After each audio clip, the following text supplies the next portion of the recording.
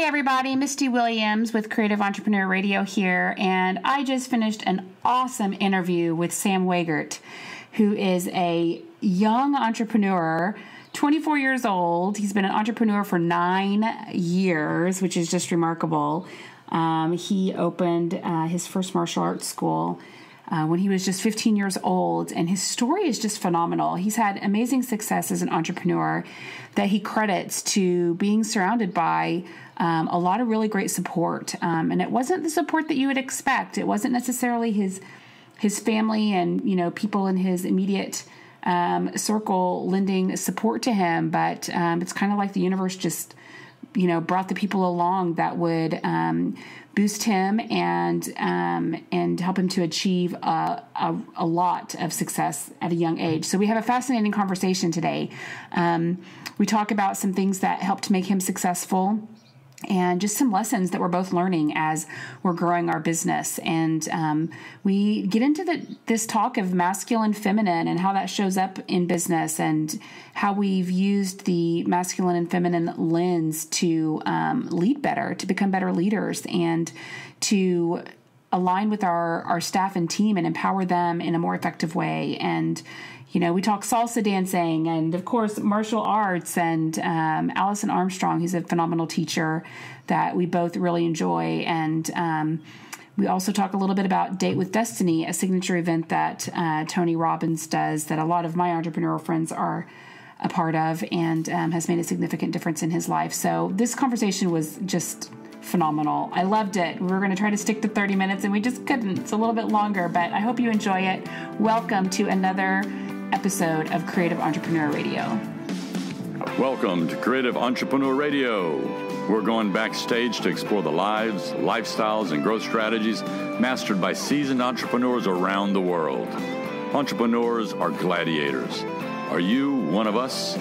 If you're a first time listener, welcome. Feel free to add the podcast to your favorite RSS feed or iTunes and check out our show notes at creativeentrepreneurradio.com. Up now, host and founder of MarketectU.com, Misty Williams. Hey, everybody, welcome to Creative Entrepreneur Radio. Misty Williams here, and today our special guest is Sam Wegert. Sam started his family based business, Superkicks, in Amherst, Virginia, when he was 15 years old. As a homeschooled high schooler, he was exposed to entrepreneurial and leadership training as part of his education and this inspired him to grow his school in Amherst to record, record numbers dis, despite a town population of only 1,500. He soon opened a second school in a hotel, and in only 12 months grew it to one of the most successful martial arts schools in the country. He became one of the youngest chief instructors in the United States, and he has a passion for teaching and inspiring others to reach their full potential. He has taught thousands of students in public and private schools across Virginia and he recently opened black belt leadership schools in Charlotte, North Carolina, and Charlottesville, Virginia. He loves the outdoors, including mountain biking, skiing, and backpacking, and he's an avid salsa dancer, which I can't wait for us to talk about uh, during our interview today. Welcome to the show, Sam. Thank you so much. It's an honor and a privilege to be on. Thank you for this opportunity. Yeah, thank you for joining me. Well, I was actually introduced um, to you through a mutual friend of ours. And I have to say that the conversation that we had, just kind of getting to know you, I just felt like I could talk to you for days. You're yes. A, yeah, you're an interesting person, and we've shared so many similar values and experiences. I'm super excited for everybody to get to know you a little bit um, during our interview, and um, hopefully to connect with you over social and enjoy the great um, synergy that that I feel like I've uh, been able to enjoy from you. So I want to just dig in here because I think the thing that's probably most intriguing about your story is the fact that this all started for you when you were 15. I know, I know, and I, I have a. I want to say this as well. I just, uh, I think you know, when you meet fellow entrepreneurs, there's always this, um, there's always some sort of a synergy that goes along with that, and I, I felt that in, when I first talked to you as well, and your passion and enthusiasm for helping other entrepreneurs. So that came across even in our first conversation. So awesome, um, thank you. Yeah, my pleasure. Um, yeah, 15 years old. I had a unique, I had a unique advantage uh, as in that I was homeschooled. So I'm not sure that that's a, a, good fit or even a good age or a good number for everybody. However, for me, it was amazing simply because I, by the time I was 15, I was done with high school. I didn't have a lot of friends growing up, and um, it was it would just seemed like the right the right step for me to move into a business opportunity because it presented itself right there from the get go. So that was just a great opportunity for me to step into. Yeah, well, Joe told me that you were young. He didn't give me a number, so. we I, so I had that entire conversation with you, which was fabulous, and I'm thinking he was like 21, uh, 22, 20 maybe. and then I was reading because you you know mentioned a couple resources. I was reading, and I was like 15. Wait, stop the press. Right. I right. wasn't prepared for 15. Uh. So I have to say that like one of the things that I feel is becoming an advantage to me as I get older is that with age comes this sense of like confidence and certainty about who I am and yes. it's really showing up in my business and the way yes. that I make decisions because in my own skin I'm more certain. So yes. there must be something special in your skin for you oh. to have been at a place that young where you felt like you could make the hard and um, and uncertain decisions that you make as a business owner. So I'd love for you to kind of just like peel back the layers as best you can since you're in that body of yours and um, and talk about what it was sure. like starting out and um, the kinds of things that you were confronted with early on to make sure that this venture was successful. Absolutely. And I, I think you bring up a really interesting point in it, and that is how, how do you as an entrepreneur and me as a 15 year old make some of the decisions that you have to make. And um, I am, while I'm flattered that you think it was something special that I uh, I had, I'm not sure. I'm not sure if it, if it was. I'll, I'll, tell you the story about how it started. I um, I had mentors from the very beginning, and I, it's funny you bring this up because just yesterday I had a friend text me. He's also a fellow uh, Anthony Robbins fan and does a lot of personal development. And he asked me he's a couple years my senior, um, and I'm 24 now, so I think he's 26. And he's really trying to get his business off the ground. And he texted me and just said, you know, what's the, what's the secret? How do I how do I do it? And he's in that stage where he's having difficulty like picking a direction and knowing what decisions to make. And the answer just immediately came to me on what to tell him simply because I knew what it was like for me at 15, 16, and 17. And the answer was simple I said, you have to find somebody who has done what you want to do. Um, and then you simply have to learn their system. I think so often uh, people try to create initially without any sort of a, um, any sort of a mentor, anybody coaching them um, to, to get a result, and they just they're they're overwhelmed by options. Right? They say that there's there's only two problems. There's either not enough options or there's too many options. right. Too many options sometimes is a problem too.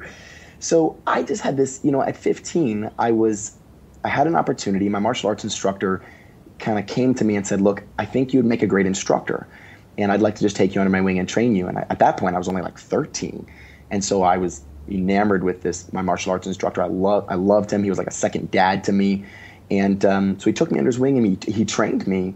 And two years later, when I was 15, he said, "I think you've got what it takes to run the school, and I want to sell it to you." And here's the system that you have to follow. And it was just so easy for me to step into that role. It wasn't because I really didn't have to even create anything at that age. I was simply sticking to someone who had done it before with proven results.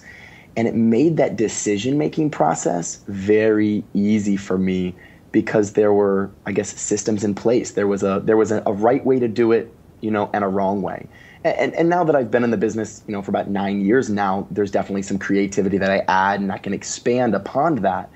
But I only expanded upon it after I actually learned a system. Does that does that yeah, make sense? Totally so that was so helpful for me in making the decision. And then I would say one more thing, and that was having somebody to be able to call um, when situations arose. Like I'll never forget, I had a student one time. Uh, he was in the classroom, and he jumped over a pad, like one of these big kicking pads you may see on TV or something. And, and he he was goofing off in one of the practice rooms, and I wasn't in that practice room. I was teaching a class, and I was maybe 17 or 18 at the time. And he ju- this kid, I think he was, the kid was nine or 10 years old, jumped over this kicking pad and landed on his wrists and broke both of his wrists. Mm. Now, this happens very, very, very rarely. Uh, so this is not to scare anyone away from taking martial arts. This was a freak, a freak accident, and I just remember at this young age having to make some really fast decisions.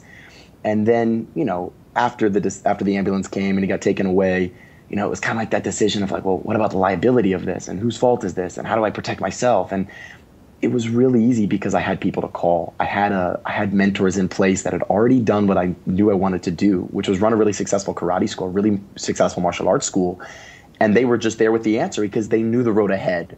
They already knew what to do. They'd already been in a situation like this, and they just told me what to do. And it gave me that certainty, that that uh, certainty to move forward. So, I was, I think I was blessed. I don't know if it was anything in my skin, but I was just blessed with really good uh, people, really good associations.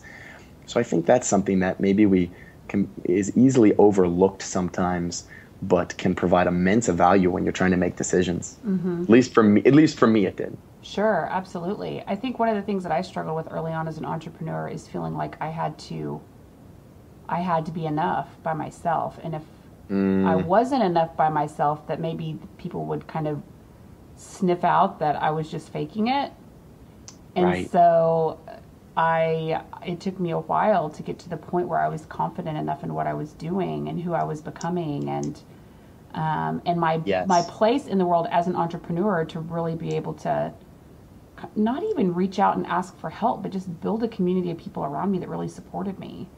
Um, yes. So kudos to you for you know you were probably young enough that you weren't polluted by all the crap yet.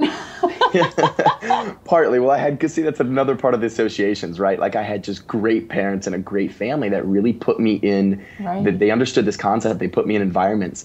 But, you know, I always teach my students this saying, and I, am actually, I'm, I'm curious if for you, if it was kind of the fake it till you make it. Like I, I teach my students that. Uh-huh. It sounds like for you, and definitely for me too, it was that, hey, I've got to you know, I'm 15 and teaching a class of 30 or 40 yeah, people that, that are all double my age. Until I make it, I don't know about you. yeah.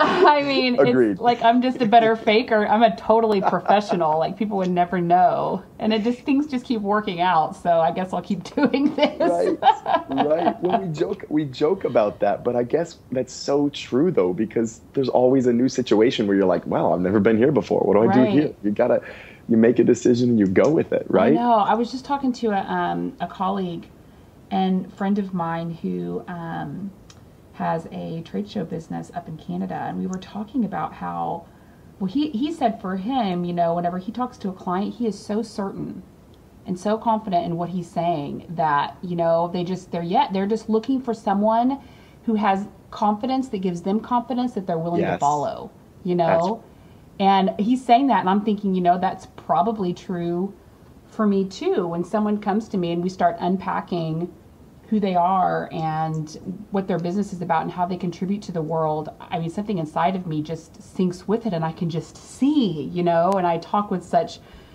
passion and conviction and certainty about how this unfolds that they're nodding yes, yes, yes, and they end up hiring me in large part just because I feel so sure about yes. it, you know? So yes. yeah, yeah, it's, that's a necessary entrepreneurial skill. maybe I, I, was just going to say that. I was just going to say that. You know, maybe that's something that entrepreneurs could even take away from this call is that, you know, it's the in those moments of doubt, it's it's okay to fake it, and I, and I don't mean faking it as a, you know saying something that you're not or yeah. putting forth a product that you that, that, that you, you can't back up with real results, but you know maybe the idea of hey, you're in there to try your best. If you're faking it and, and you're trying your best Mm-hmm. Um, maybe a good example of this I would have is when I was 15. You know, one of the ways that our academies make money is by we will upgrade people. We'll ask them to set their goal to their black belt, which is a, a three-year commitment. I mean, that's one of our you know that's one of our forms of income. When students set their goal to become a black belt, they sign on, they set their goal, and they make this commitment. And sometimes uh, parents would make this commitment in, in my school when I was only 16 years old for their three year old. Uh-huh. So they would sign their three year old up for a program that was as long as their kid had been alive. Right. Right. and I don't say that to uh, brag or impress. I just and, and this this program, you know, would cost four to four to six thousand dollars depending on how you choose to pay for it. And they would I would they people would do this simply because of my confidence, which I think came back from like these mentors and these people. I wasn't I wasn't an island, right? Like I did Yeah. seek out Yeah. people, you know, and if I if I'd known you at this time, like I would have loved to have you as part of my team to be able to call and say, "Hey, I have, you know, I got this problem, this problem, this problem." And with how many entrepreneurs you deal with, that's even a, a great person, right? I, You mm-hmm. being on my team to have, I'm sure you've dealt with something like that before. Yeah. So you know, but I didn't. So I had to deal with the mentors that I did managed. have. But I had these Everything worked out. Right, right. I got I got you on my team now. um, but you know, I had these great people in my life that I could call. That that was this environment that that kind of supported me. Like they were this foundation that I could build on. Um, for for the confidence to be able to say no i want your kid to enroll no this is the right thing for you and they would enroll and they would start. And this blew my mind when i first started it. But then little successes build upon little successes. So yeah if anything to take away when you start you got to fake it till you make it sometimes. Yeah. so true so true. Totally.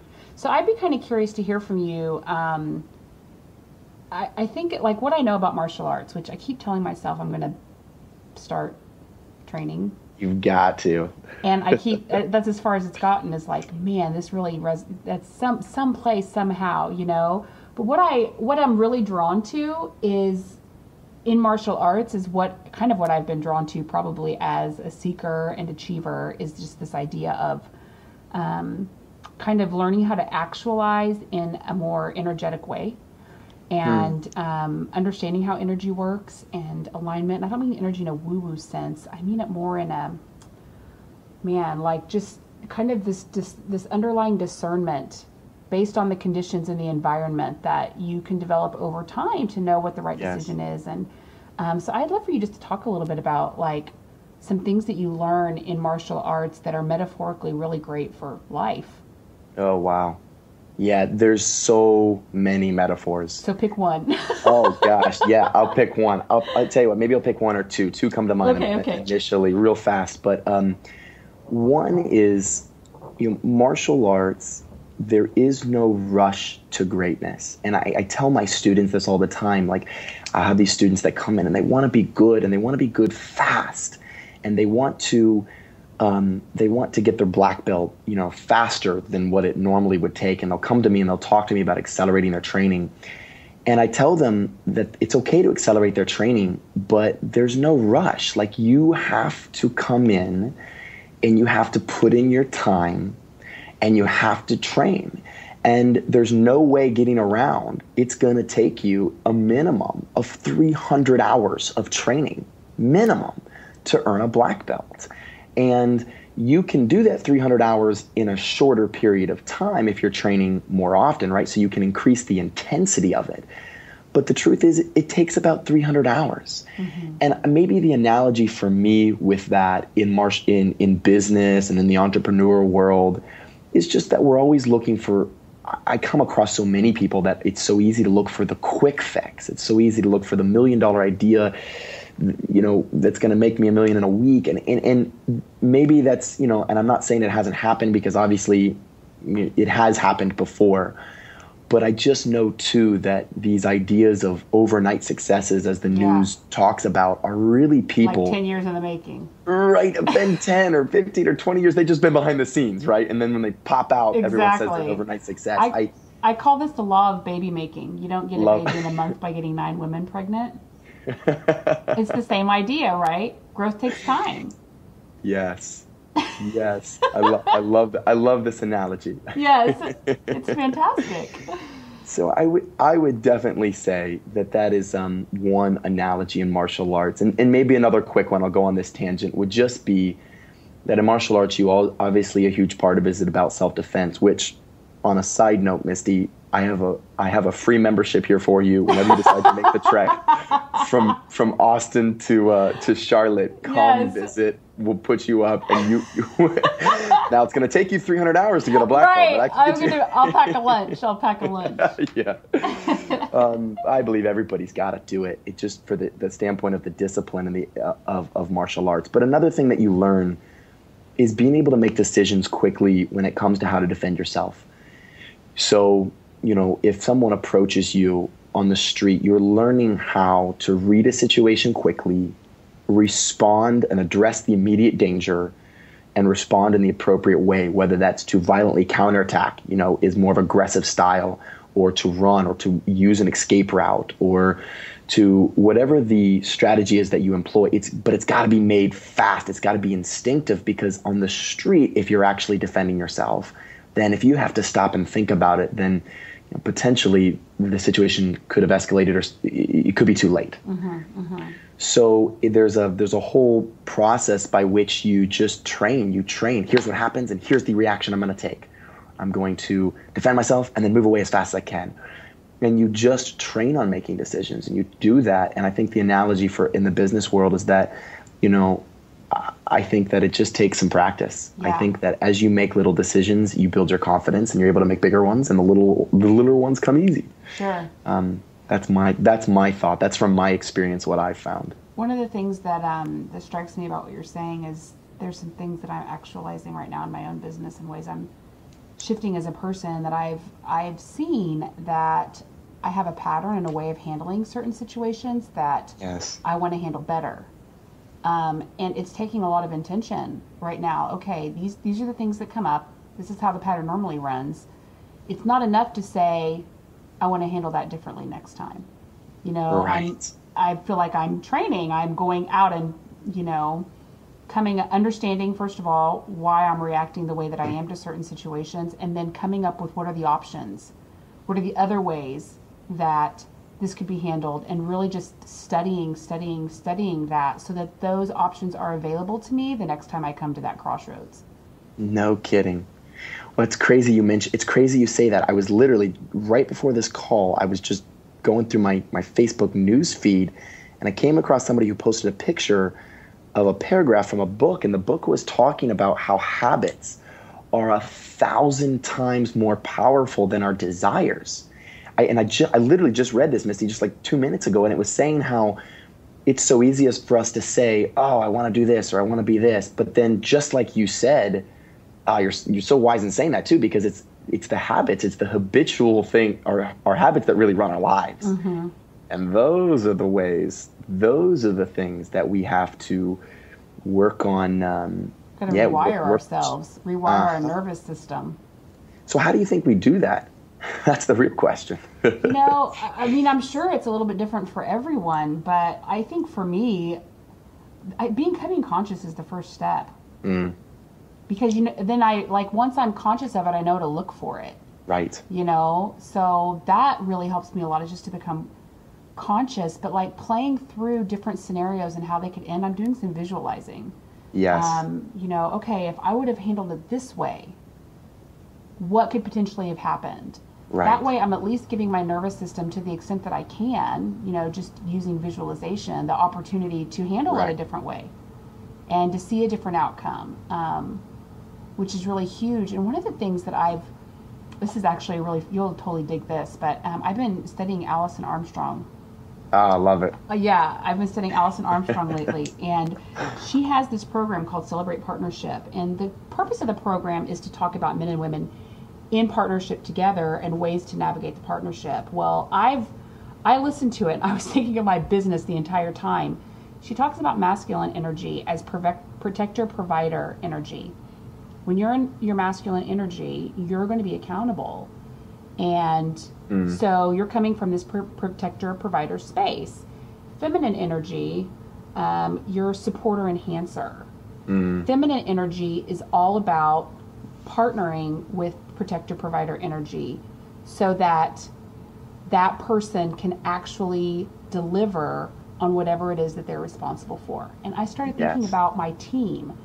And I think as a because of how I was raised and um, and also because as a woman I've really had to prove myself so much. Yes. Um, I show up a lot of times as protector provider and supporter enhancer. Like my gut is to be supporter enhancer. Yes. You know, but I've very developed protector provider energy. Mm-hmm. I'm the oldest of three, and my mom counted on me a lot growing up, and you know, so I always had a lot of responsibility and whatever. But I just I saw that I was doing this in my business with my team, especially where I was taking all the accountability on myself. Yes. And and I wasn't setting the team up to support me in being accountable to our clients. Another thing that I was doing is even though people were given certain responsibilities, I was still acting like it was my responsibility. So they weren't mm. fully empowered as protector providers over their responsibilities. Right. And not only were they not fully empowered, they also didn't fully take accountability because I was taking it. And they didn't feel like they could ask for help because they felt like they were supposed to be helping me. Hmm. So I I went to a couple of my team members um, and I told them, okay, this is what I'm noticing that I do, and this is the pattern that I have. Right. You are going to be accountable. This is something that you're going to have to answer for now. What do you need? How can I support you? How can the team support you? And we started shifting stuff.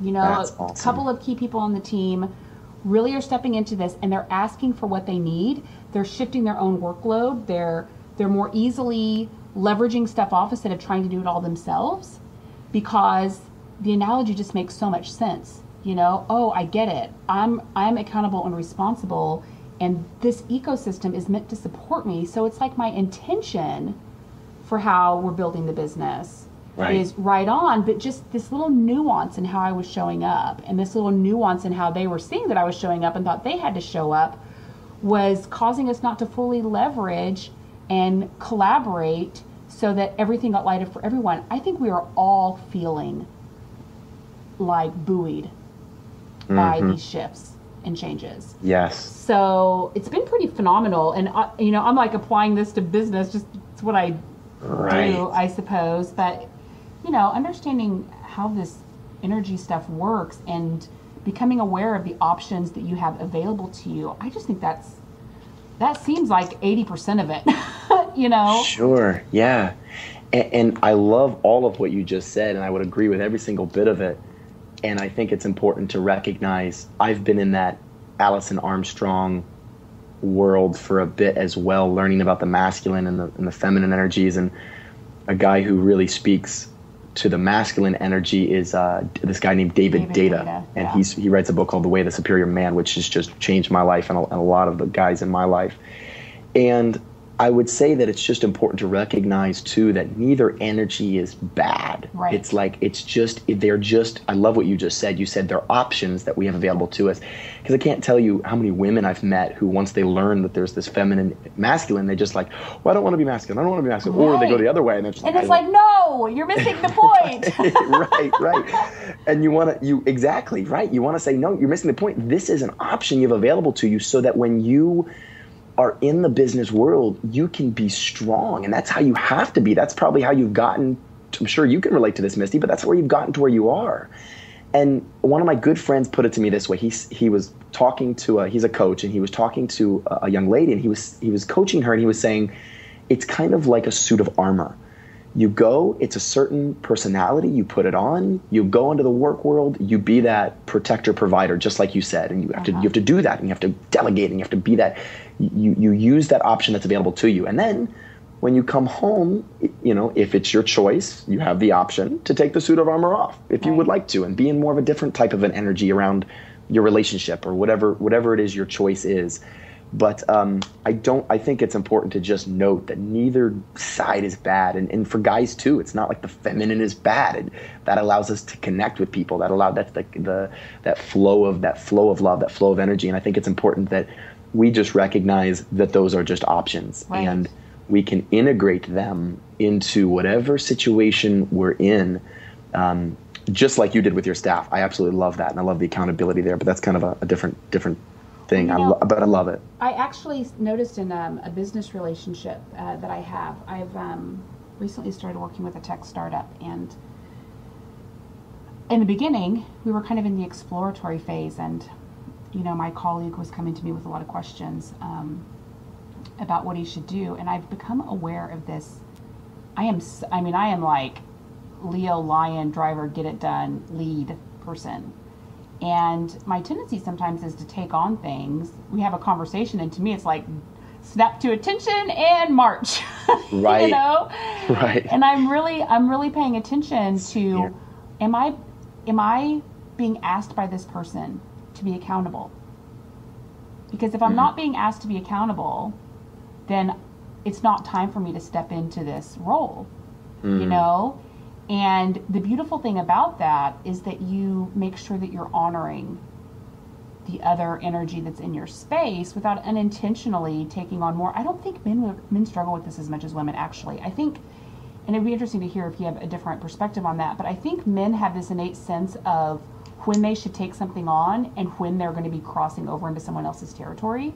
And I don't think women all the time know and understand that because women are so much more communal and our energy is just to like we see something needs to be done, we just help each other, you know? Mm. But I've mm. noticed in my relationships with men that they can feel or react as if you're trying to compete with them.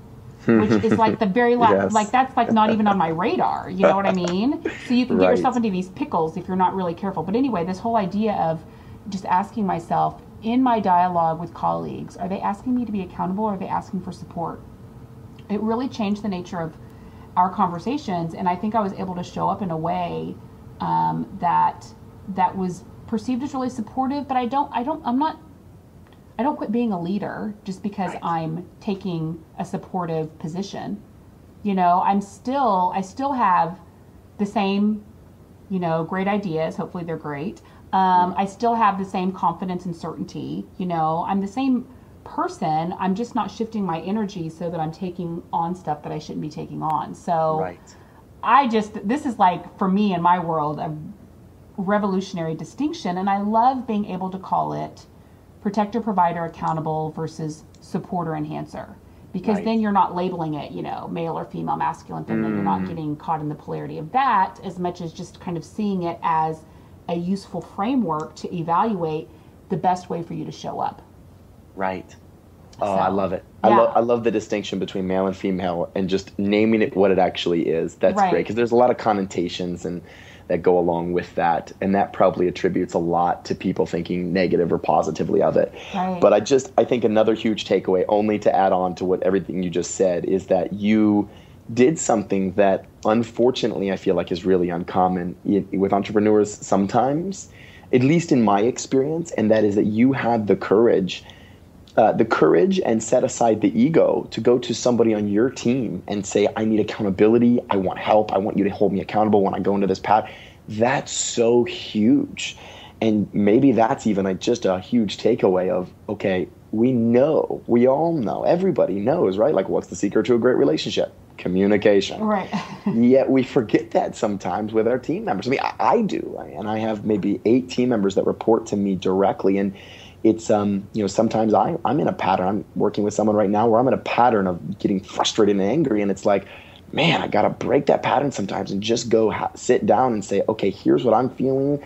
How can you help me with this so we can get on the same page and accomplish our outcomes? So I, but that takes courage, right? That takes yeah. like a setting aside, and and maybe this is the the the the ego coming into play, but to put set aside everything else and say, hey, I need your help, or hey, I want I want your accountability for this is huge. I yeah. commend you for that. I know that, that that takes courage. Yeah, thank you. And I also think you kind of get to a point where it's like you just get sick of yourself.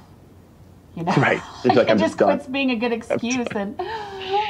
like right. yeah there's some there's some areas of my life which you know i'm so like okay with my humanity um, but there's some areas of my life where i'm like i am so sick of being stuck in this place and frustrating everybody else you know, yes. like at some point, I feel like I'm gonna lose rapport if I if I don't like right. own my shit and.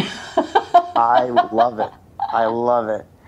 and you said you said well uh, you said something earlier that really caught my attention. You said you visualize what will be the positive result if yeah. you act in a different way. Is that what you said earlier? Yeah. Or like one of the use. Well, you know, on the flip side, I would recommend, and I do this all the time I probably do this. I, I, I, visualize what will happen if I don't change. Like yes. I visualize, man, if I keep going down this, ter- down this path, uh, just like you said, I'm going to lose rapport. I'm going to lose this person. You know what? And all of that pain that I think about in the future gets me to take action. It yeah. gets me to go, okay, ego aside, I'm sitting down, I'm communicating. Ego aside, you know, and this works in personal relationships too. It's like our ego aside, I'm, uh-huh. I'm talking to my girlfriend about this. We're right. going to make this happen. So visualizing can work the other way too. Of I don't want that pain. If you visualize a year into the future or five years into the future of what will happen if you don't change, oh, that that gets painful pretty fast for me, especially if I'm in a pattern that is even a little bit destructive. But when Yeah. I think a couple of years into the future, it becomes ult- it becomes Yeah, even that much more destructive. Yeah. It totally intensifies. Have you done So- Date with Destiny? I have done Date with Destiny twice, and it has rocked my world. So I I haven't done Date with Destiny yet. I'm hoping that I'll I'll be able to do it in December Oh, yes, um, if yes. the moons continue to align Cool. as they are. But um, but I've talked to several people about the values work that you do. So I started working with one of the master trainers in Tony's community Yes. around my values. And one of the things for those of you that aren't familiar with Date with Destiny, actually, Sam, you should probably give this little commercial about Date with Go- Destiny. go But it's one. it. It's Tony's Tony's favorite event. Tony Robbins. It's his favorite event. His signature event. It's I don't know. Is it a week or ten days? Nine days or something? Yeah, seven days. Seven days. Seven days. And um and you really go deep. Sam, you give the plug. You're more qualified. I mean, it's full. It's full out. I mean, when you say seven days, it might as well be ten because you're up early, and I mean early, seven, eight a.m., and you're there till one or two a.m. the next morning. And people, when I tell people that, they think I'm crazy. They're like, I could never do that. But you are, you are so into developing yourself for those seven days that you know never before do we take seven days and just focus on like how can I be a better person. Mm-hmm. And you're right. When I, to to pick up where you left off on values, one of the main things from that event is he has you go through and look at your life and say, okay, up to this point in my life, what have I valued? And not just what do I say I value, because we all would say I value love and connection and giving and all those things, but not just what we say we value, but what have you valued? And he uses this word operationally. Like, if you look at your actions, what have you valued? You mm-hmm. know, and if you and, so if you say you value your intimate relationship, yet you've spent an hour in the last month on working on that, then operationally you don't value your inter- intimate relationship. It, it, it's kind of where he's going with that, and obviously there's individual situations which may not make that apply, but.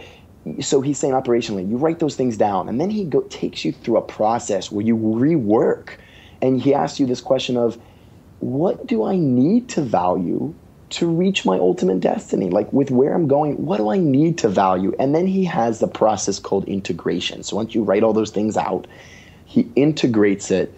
And this is Tony Robbins' ultimate skill set is the human psychology of knowing how your brain works and how to get something in there in your brain uh, subconsciously so that you begin to form habits around it. And that's the biggest thing for me. So I'll get a little little personal story. I went into Date with Destiny this last December, and on a side note, I have decided that I will go every year from now on. It's just it, it's it's it's a must for me.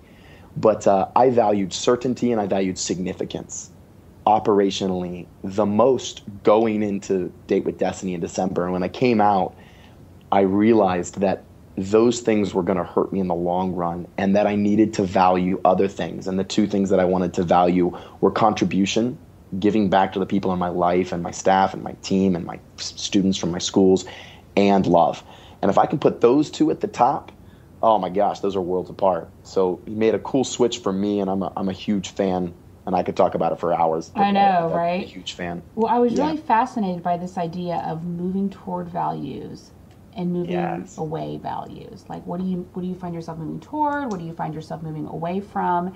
And I actually went through myself and you know just kind of profiled. Okay, what are my top moving toward values? What am I moving away values? And I I saw some value conflicts, some places where um, the things that I say I want, I wasn't going to be able to achieve and accomplish because it conflicted with another value that clearly was more important to me.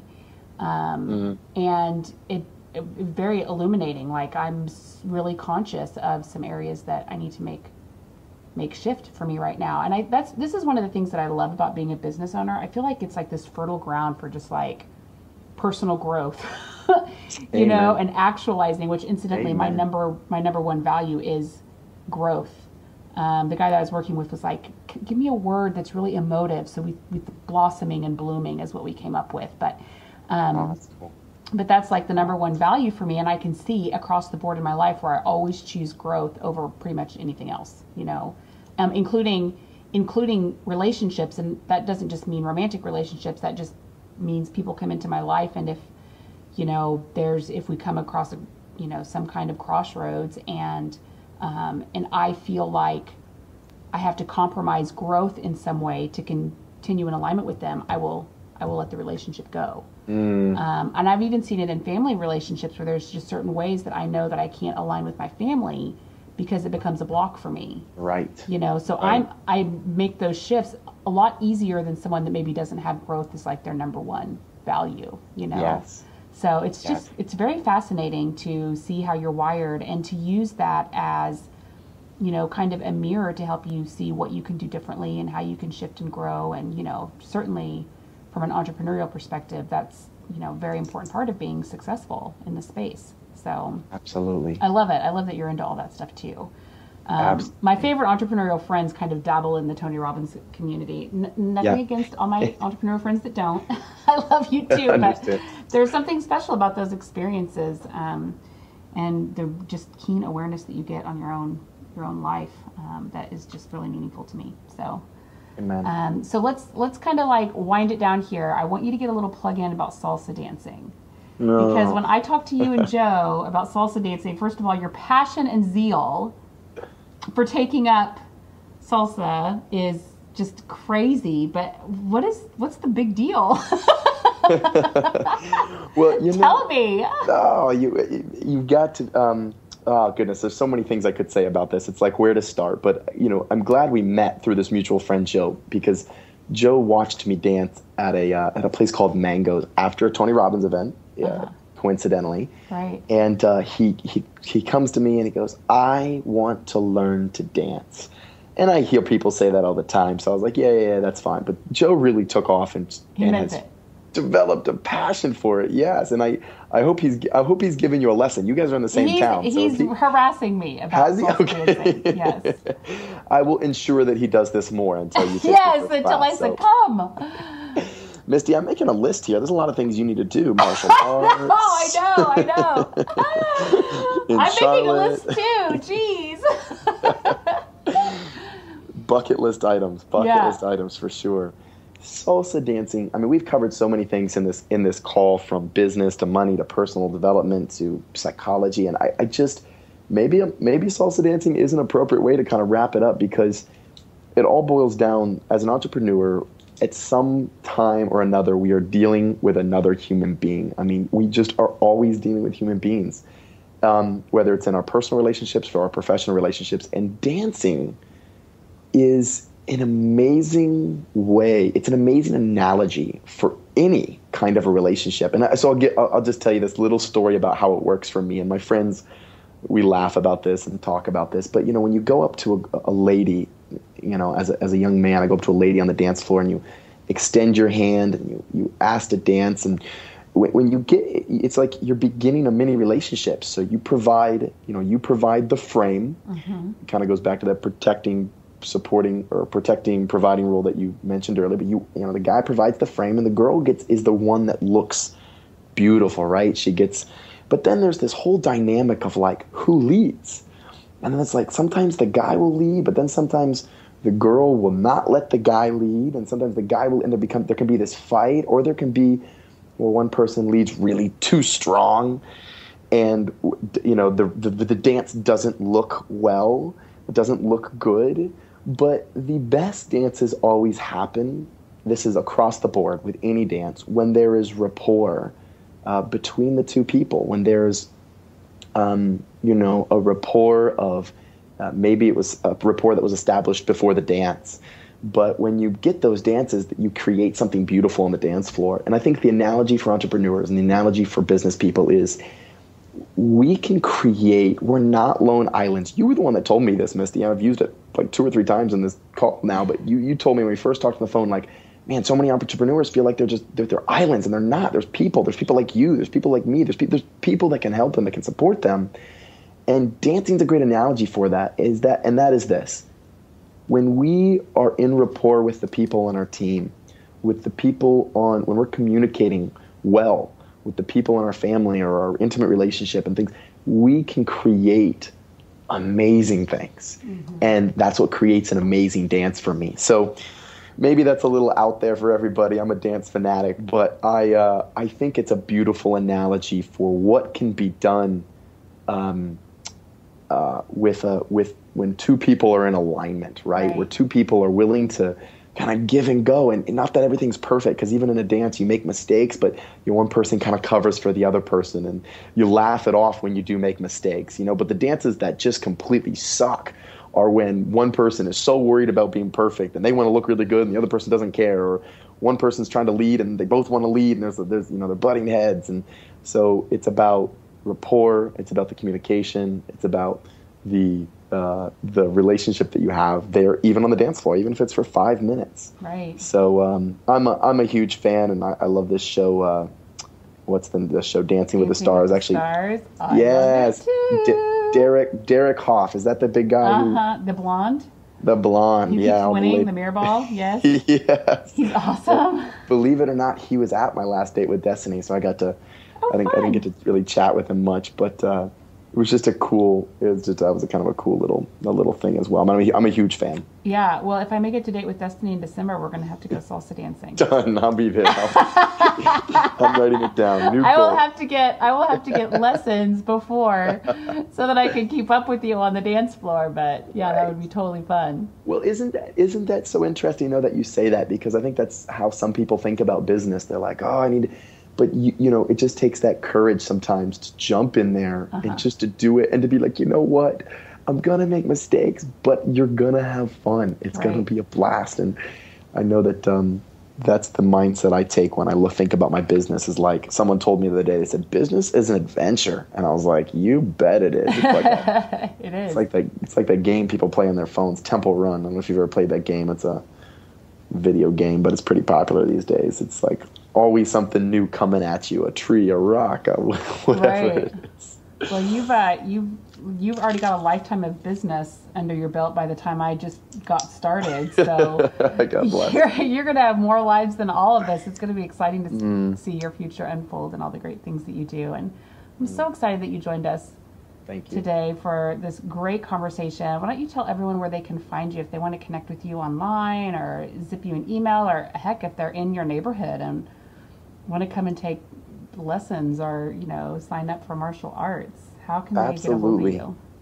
come come train. All I got to say is come stop by Charlotte and jump in a class if you're in the Charlotte or Charlotte, North Carolina area or the Charlottesville, Virginia area. The best thing to do is just type my name into Google. It's uh, Sam Wegert, and the last name is W E G E R T. And my blog will pop up first, and that has all my contact information, my number, my email, and interested in any way, they can find out more about me and my work and my and my team's work. And Superkicks is the name of my my company, Superkicks Karate, and we have multiple locations right now in Virginia and North Carolina. So it's an honor to to be on this call and to um, and if I could just say one more thing, Misty, before Sure. we, we we go, and that would be I jotted this down. I got some sticky notes here in front of me, and, and the last thing I would say is just coaching. You, you we talked about rewiring your brain and you know how do you change habits and I just um I can't say enough and I know you didn't ask me to say this but I'm going to say it anyway and that is I can't say enough how awesome it is to hear about what you do which you know there are not enough people out there trying to help entrepreneurs there are not enough people out there trying to coach them and guide them and giving them direction so I'm a huge fan of your work, and I just wish you all the success in the world. If there's ever anything I could help you, um, I'm a, a text or a phone call away. But I think everybody's got to have coaching. Everybody's got to have someone that can look from the outside because it's a different perspective. We're so caught up in our own head sometimes, we just don't see it. But just talking with you, it's like you can help me see things that I just don't see because I'm in it. Right. I'm just too close. So. I um I'm a huge fan of that, and I'm just honored to be on this call. So thank you, thank you so much for the opportunity. Yeah, thank you, Sam. I'm totally loved this conversation. I wasn't expecting all of these great gems. It's going to be really fun to uh, to kind of go back and put together the show notes for this one because we man we covered a lot of ground. This was awesome. Thank you My for pleasure. sharing with us today, and um, love that you're a part of the creative entrepreneur community. And everybody, check out the show notes. Get in touch with Sam. Thank you so much for joining us for another episode of Creative Entrepreneur Radio. Have a good one. My pleasure. Thank you. Thanks for listening to Creative Entrepreneur Radio. If you've enjoyed this episode, please leave us a review on iTunes. That helps others find our show. You can find links, contact information, and a recap of today's episode in the show notes found at creativeentrepreneurradio.com. tweet Tell Misty. That's T E L L M I S T Y with your thoughts, ideas, or questions, and join the conversation on our Facebook group. You can learn more about Misty and her work over at MarketectU.com. See you next time.